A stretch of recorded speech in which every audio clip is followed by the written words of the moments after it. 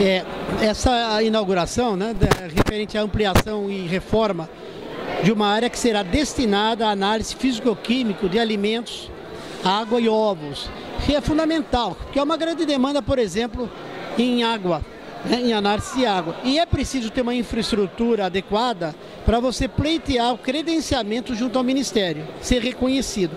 Então essa foi uma primeira etapa do trabalho na adequação da estrutura física e também de equipamentos né, desse, dessa parte do laboratório. E, e ressaltos que houve, foi uma ação conjunta em que houve uma participação da Prefeitura, do Governo do Estado, através da Secretaria de Agricultura, envolvendo a defesa agropecuária e o biológico, e também houve do Sindicato Rural, né, essa participação. Ou seja, Prefeitura, Sindicato, eh, Estado, todos juntos é, cumprindo o que foi acordado no início do ano, que era completar até a festa do ovo a estrutura física.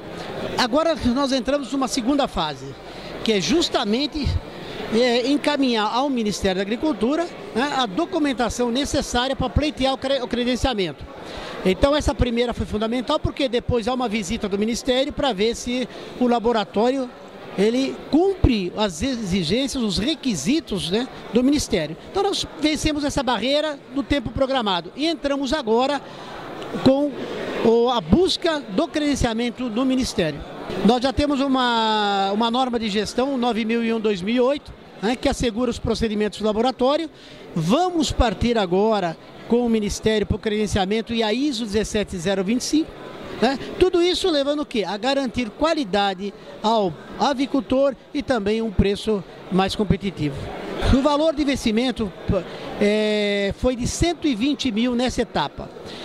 Mas nas etapas anteriores, né, que foram nos últimos anos, alcançou 270. Então são 270 mais 120 mil. E agora é, assinamos com a FAPESP, é, semana passada, se não me engano, um projeto que vai aportar 220 mil para essa unidade de baços, que vai completar né, o parque de equipamentos para diagnóstico molecular de laringotraqueite.